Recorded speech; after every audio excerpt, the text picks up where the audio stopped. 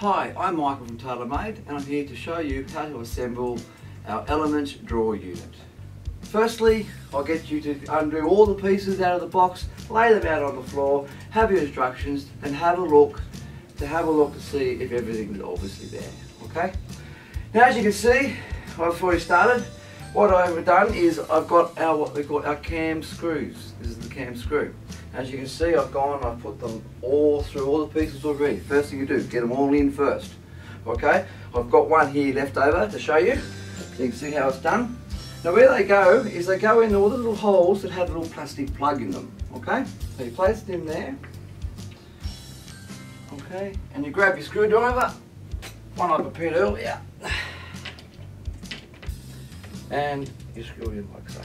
Now, one thing to note, this is piece number three. And on piece number three, you'll notice there are two holes here that have the plastic plug in them. This is the only piece in this unit that you do not put a cam lock in. You leave this one open and, you'll, and we'll show why later on. Okay, next step is to grab piece one and grab piece two. What I've gone and done is I've actually gone and placed all the cams in first. The choice is yours. You can put them all in first if you want to. If you've got experience with cam locks, you can put them in first because you know how they work. If you're a little bit inexperienced with cam locks, this is the cam lock here.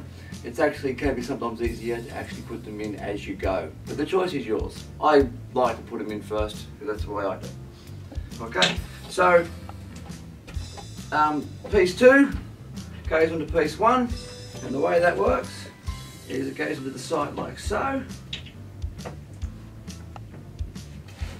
I'll show you here, make sure it goes the right way. You've got these two cam locks at the top, okay?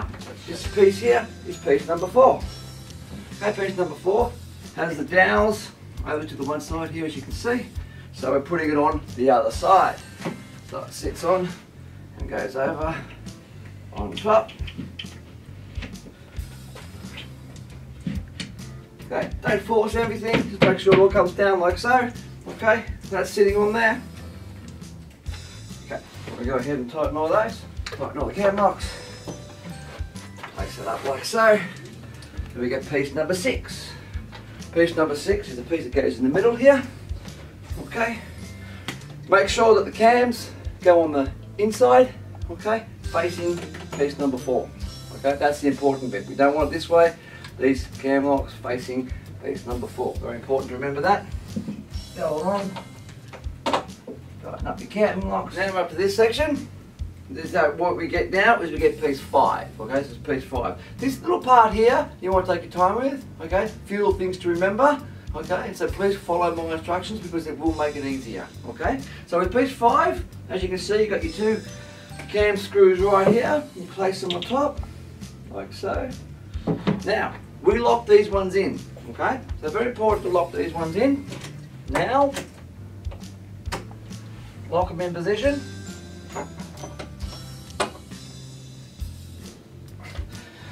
Like so. Now, we get piece three. Now, piece three, you leave that like so. Goes around this way, like so. We put this on.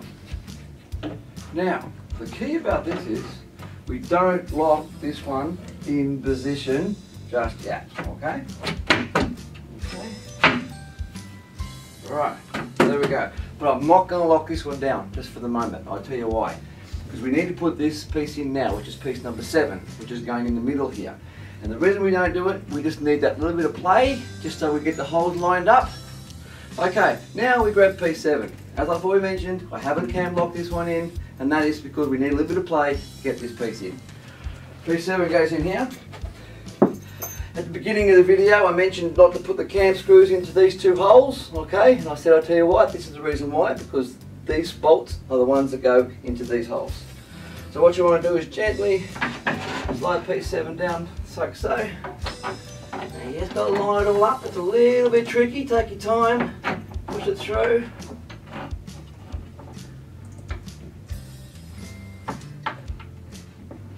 Get it started. Once you've got it started, yeah, you know, once it's started, then you can tighten them up with the Allen key, like so. And now we go ahead and now I'll go and I'll cam lock all the other pieces in. Okay, so now we get the last step is the top, which is piece number eight. Easy to see where it goes. You've got the three here, you've got the three holes here at the back right hand corner. So you make sure that they go at the back right hand corner. Get them on. Like so. There you go. Quick you can go ahead. With the cam locks already in and in position, it does make it a little quicker. You can just run around quickly after it's on top, tighten it like so. They're all tightened, everything's nice and tight now. That end's going nowhere. Now we can put our drawers in, like so. One, two, three, whoops, and four. And there you have the Elements drawer unit fully assembled. Last thing you can do is there are the white caps that we, we provide. You can place them on the cam locks. I'll give you an example quickly here. On the outside, just to make the unit look really good. Okay, and you can continue right through and do your whole unit. And there it is.